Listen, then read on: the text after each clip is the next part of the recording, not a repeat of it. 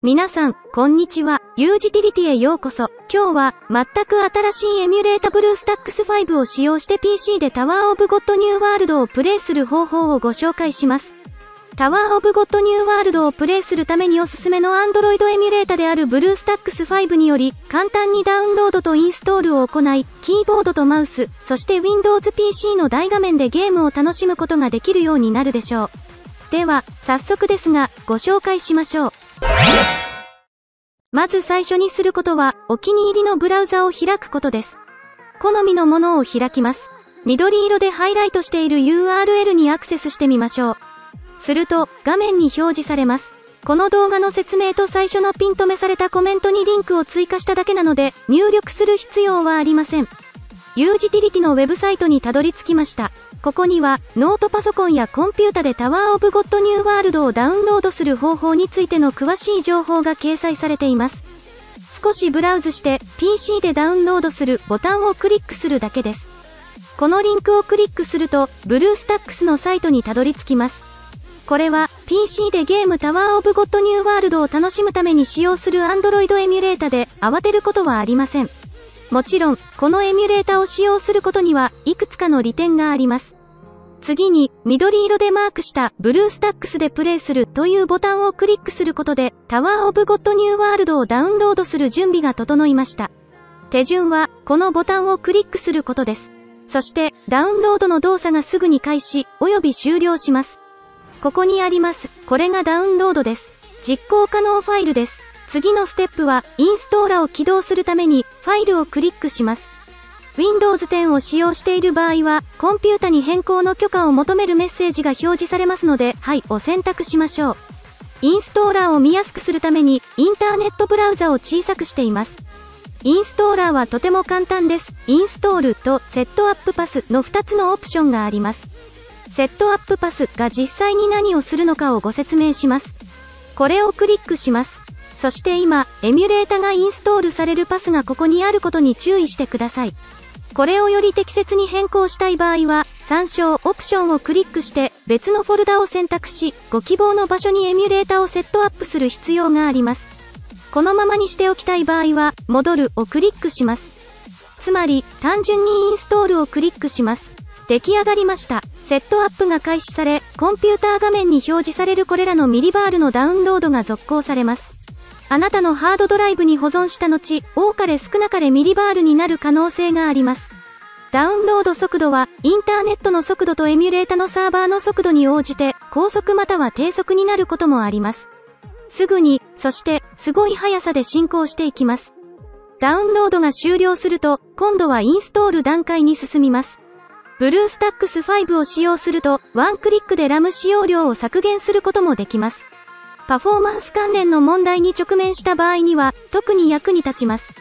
さらに、エコモードを有効にして、CPU 使用率を87%削減し、GPU 使用率を97%削減し、マルチタスクをより簡単に行うことができます。ご覧の通り、ブルースタックス5は長時間のゲームプレイでも安定したパフォーマンスを発揮できるように設計されています。インストールはすでに完了しています。この時、たまたまエミュレータが瞬時に起動することがあります。お気づきのように、ここの下には、右に進むプログレスバーがあり、エンディングに達すると、エミュレータが初めて起動されます。実は、エミュレータはすでに起動されています。ここで初めて登場します。先に進む前に、ご覧の通り、この PC のデスクトップ上に2つのアイコンが作成されました。BlueStacks と BlueStacks マルチインスタンスです。 BlueStacks のアプリのアイコンが私たちの関心事項であることに注意してください。我々はラップトップやコンピュータ上で Tower of God: NEW WORLD を起動する場合は、この特定のソフトウェアアイコンをダブルマウスでクリックして、エミュレータを実行します。 BlueStacks マルチインスタンスアイコンを使用すると、複数のエミュレータインスタンスを起動することができます。このように、Google プレイが起動しますので、サインインする必要があります。そして、プレイストアをクリックするだけです。ご覧の通り、Google プレイが開始されます。そこでサインインする必要があります。現時点では、ここの工程に差し掛かると、すぐに次のフェーズを実行する必要があり、これは必須です。サインインをただクリックするだけです。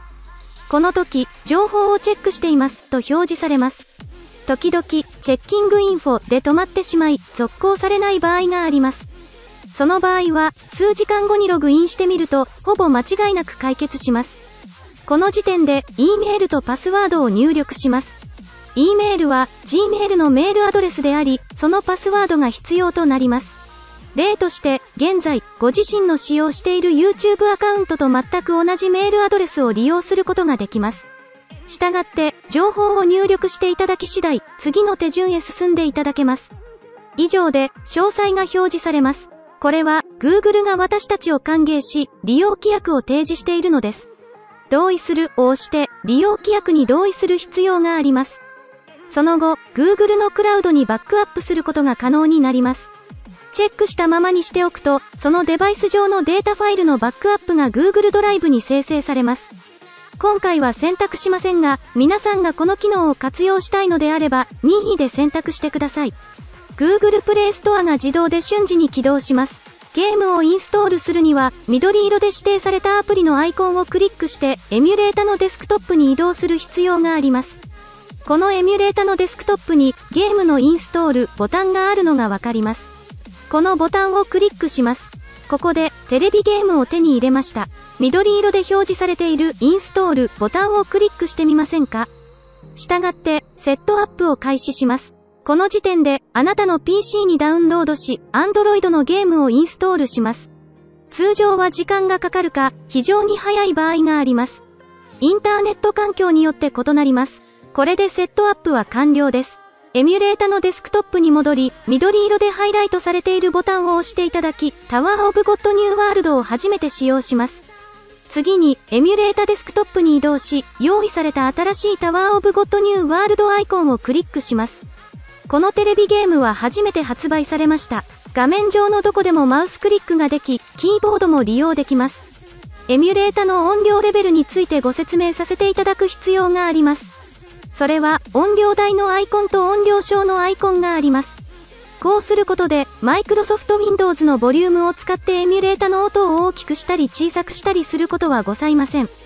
体験を最大限に楽しむだけでなく、大画面をオンにすることもできます。これには2つの選択肢があります。緑色で示したアイコンをマウスでクリックすると、モニターが最大化されます。すると、モニターが最大化され、上部に1つ、右側に1つ、下部に3つ目のボーダーが表示されます。テレビゲームを全画面で体験したい場合は、このソフトウェアアイコンをクリックします。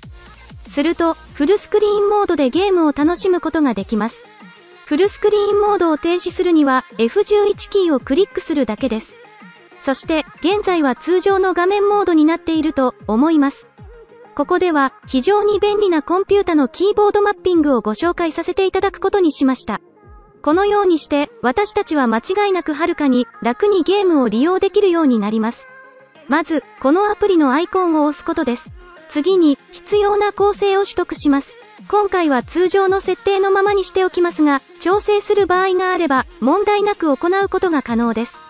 当然、エミュレータは完全に我々の言語で書かれています。